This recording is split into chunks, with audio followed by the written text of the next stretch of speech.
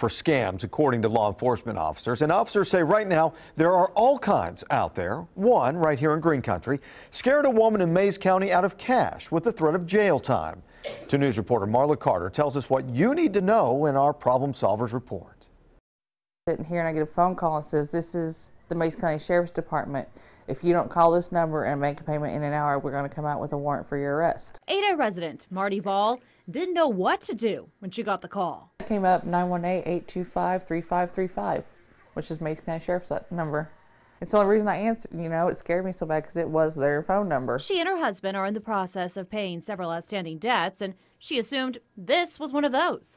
With the threat of jail time looming, she decided the best action would be to pay up. I paid MoneyGram and I called with a confirmation number. She paid more than $200, money she didn't have.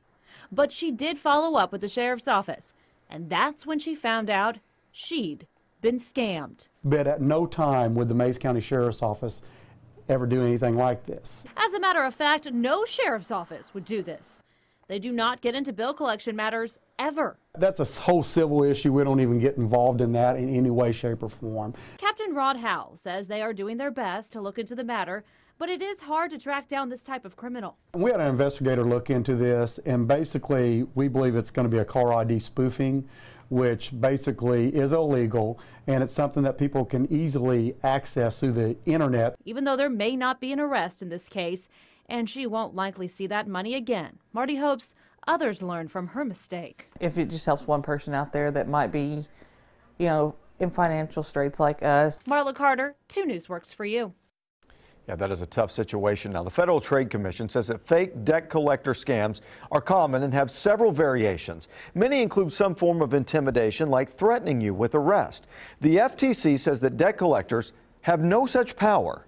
If someone calls claiming that you owe money, ask for his or her name and information about the company that they represent, and then tell the caller you refuse to discuss any debt until you receive a validation notice. Under the Fair Debt Collection Practices Act, a collector must send you written notice with that information. If the caller won't give you that information, hang up and then report the call to the FTC and the State Attorney General's office.